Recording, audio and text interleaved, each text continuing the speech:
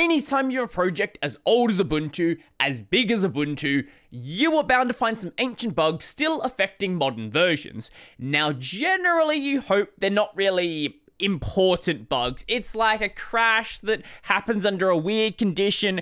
It's using too much RAM because of memory allocation issue. What you generally hope is there isn't an undiscovered privilege escalation bug.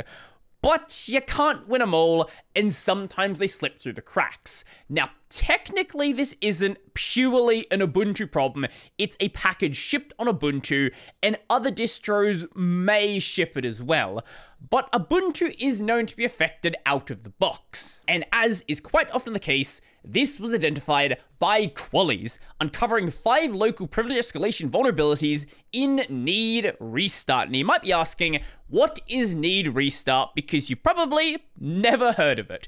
This is a small project made by Thomas Liske. This checks which daemons need to be restarted after library upgrades. As a more comprehensive explanation, Need Restart is a utility that scans your system to determine whether a restart is necessary for the system or its services. Specifically, it flags services for restart if they're using outdated shared libraries, such as when a library is replaced during a package update. Because it is integrated into server images, Need Restart is set to automatically run after apt operations like install upgrade, or a move, including unattended upgrades. Its primary role is identifying services that require restarting after critical library updates, such as the C library glibc. This process ensures that services utilize the latest library versions without requiring a complete system reboot, enhancing uptime and performance. Now, when we're talking about the average desktop user, this doesn't matter if you upgrade your system, I know people like to say you don't need to restart Linux. Yes, you do. Restart your system. It is going to make your life considerably easier. However, if we're talking a server environment where maybe you don't have the best architecture to restart parts of your system, in that case, having a system like this that makes it easy to restart services is a good thing. This project has been around for a very long time, but was enabled by default in Ubuntu server 2104. So what they discovered were five separate CVEs. CVE 2024 48990, 48991, 992, 10224, and 11003 3. And in just a moment, we'll get into the details of what is actually happening there. Now, the issue was fixed in the 3.8 version. As for the affected versions, every version every version prior to 3.8 is affected by this. Now, it first became a package in the 0.8 release, so this means every version going back 10 years is affected by the problem. This is a decade old vulnerability for a privilege escalation bug. At a high level, this exploit is achieved by manipulating the attacking controlled environment variable that influences the Python slash Ruby interpreter, passing unsatisfied data to a library that expects safe input, thereby enabling the execution of arbitrary shell commands. Arbitrary shell commands as the root user. This means basically anything that you want to do. Now, whilst this does affect every single version, Ubuntu doesn't care to fix the problem on every single affected version because some of those are outside the support window. So they're going back and backporting patches down to the 2.6 version. This is shipped on 1604. So from 1604 to the latest version, those have been addressed if they're in the support period, so not the 10 releases, but the 04 releases. And on the 1604 one, that is only being affected, that is only being like addressed if you're in the extended support period. So for regular people, um, you know, those versions are still affected. However, if you're a regular person, what are you doing running 1604 in production? Stop doing that. Now, the impact is as you would expect. This poses considerable risk for enterprises, including unauthorized access to sensitive data, malware installation, and disruption of business operations. It could lead to data breaches, regulatory non-compliance, and erosion of trust among customers and stakeholders, ultimately affecting the organization's reputation. Enterprises should swiftly mitigate this risk by updating the software or disabling the vulnerability feature. If you don't have an updated version for whatever reason, it can be disabled in the config with a single line change, but you're better off just ensuring you are running up to date packages. Now, as Qualys always does, they also have a technical write-up. The first CV I want to talk about is 2024 48990. This allows local attackers to execute arbitrary code as root by tricking need restart into running the Python interpreter with an attacker controlled Python path environment variable and 48992. This is the exact same thing, but the Ruby interpreter and the Ruby lib environment variable. To determine whether a Python process needs to be restarted, need restart extracts the Python path environment variable from this process's slash proc slash PID slash environ at line 193 right here. Sets this environment variable if it exists at line 196 and executes this right here at line 203 with a dash argument to read a short hard-coded script from standard in at line 204.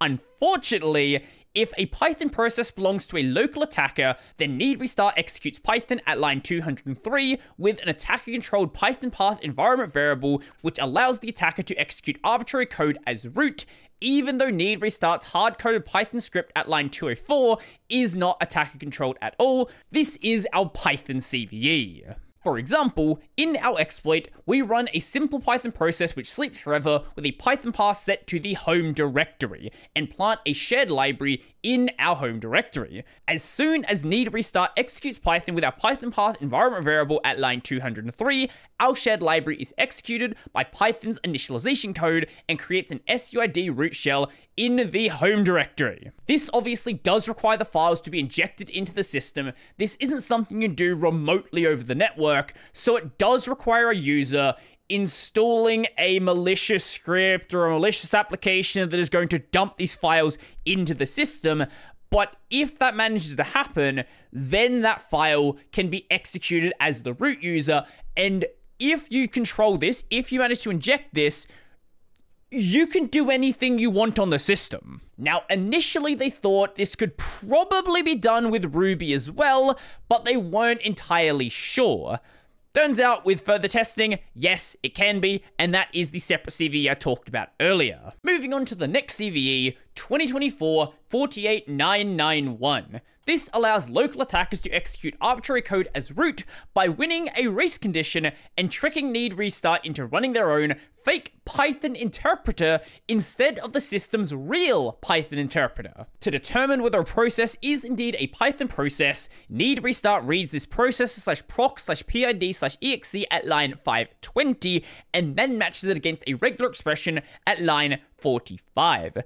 This regular expression has led to a separate vulnerability, CVE 2022 3688. Now, to be fair, it was fixed. We tried to bypass the fixed anchored regular expression at line 45, but we failed. However, we eventually realized that the file name that's checked at line 45 is not necessarily the same file name that is executed at line 203, which is not in this one, but it was up in this right here. The file name that is checked is read from slash proc slash pid slash exe in the middle of need restart's main loop at line 520, but the file name that is executed was first read from slash proc slash pid slash exe long before need restart entered its main loop. And this is why you need to verify what you are using just before you use it. In other words, need restart is vulnerable to a TOCTOU race condition,